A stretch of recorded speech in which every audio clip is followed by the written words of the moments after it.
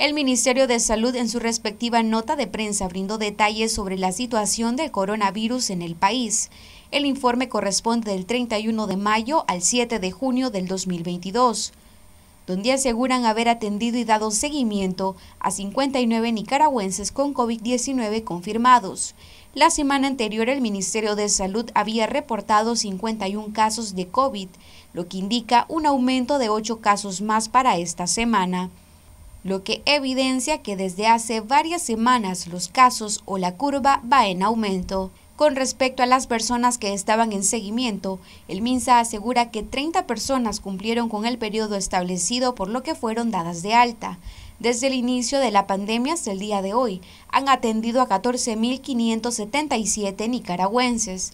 Las personas que han estado en seguimiento responsable y cuidadoso por COVID-19 con frecuencia han tenido padecimientos asociados a la hipertensión arterial, a la diabetes mellitus, obesidad, enfermedades cardíacas, síndrome de inmunodeficiencia, así como insuficiencia renal crónica, antecedentes de accidentes cerebrovasculares, tuberculosis pulmonar y enfermedades pulmonares crónicas.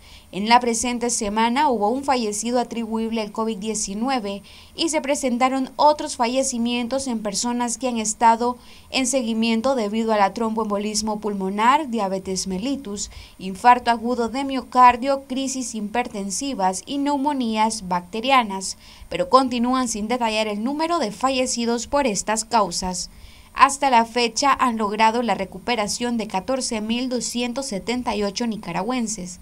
El informe continúa sin detallar las variantes de circulación en el país, pero gracias a la información proporcionada por la Organización Panamericana de la Salud, se conoció que la variante Delta, Alfa, Beta, Gamma y Omicron ya circulan en Nicaragua. Para Noticias 12, Gabriela Solórzano.